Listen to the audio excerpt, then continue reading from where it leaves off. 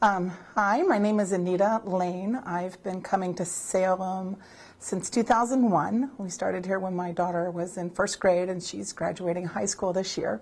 Just went to her prom last night. So I have two children that um, accompany me here at church on a regular basis, fairly regular.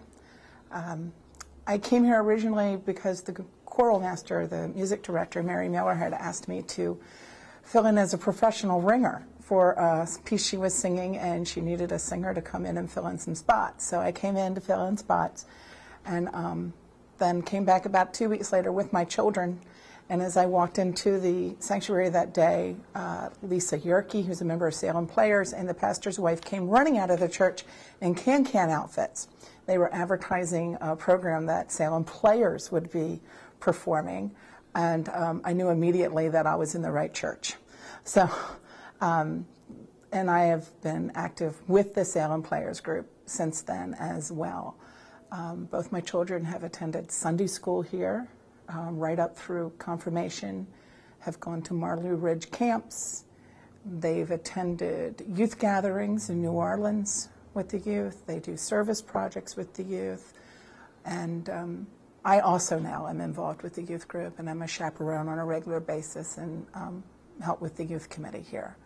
So um, other things that I love here are the music. I've stayed also because of the music and Mary and the fellow musicians that we have here. The, we have the brass group, we have uh, Psalm 98, which is an a cappella group, we have an adult choir, we have a children's choir, we have a handbell choir. So musically, we're, we're very um, just blessed. And we have the back row group, which then performs at the Wednesday night worship. And my daughter Ashley has actually played piano with them and um, worked with them as well. So um, overall, our experience here at Salem is one of family, just a huge, loving environment.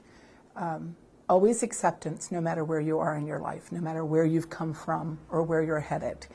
Um, no, regardless of what your political views are, regardless of what your preferences in life are, you you're welcome here, and you're always welcome at the Lord's table, which I think is the most, I, just unifying part of us.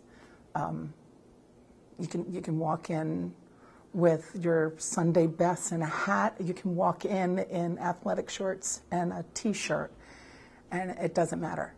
You're you're always welcome to worship here, to be a part of the family.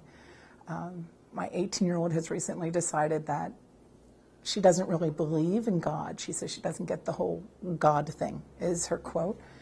Um, but she never wants to leave this church. And she's told me she wants to raise her children in a church just like this.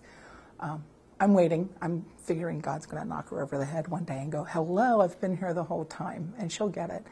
Um, but she loves the fact that she can state that to somebody here at this church she can tell them that without fear of being judged, kicked out, or left alone.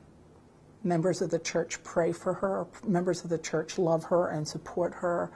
Um, she came to a special service to bless all our graduating seniors just this past week. And um, there was a wonderful laying on of hands. And my daughter stood there and was just so appreciative of the love, the prayers, and the support. And um, like I said, just lack of judgment it's, it's a wonderful feeling to have a home that treats you that way, knowing that you can fall, but you'll always be welcomed back no matter what. And so I, I think that's I think that's the most charming part of, of our congregation overall is just the sense of welcoming and love and acceptance.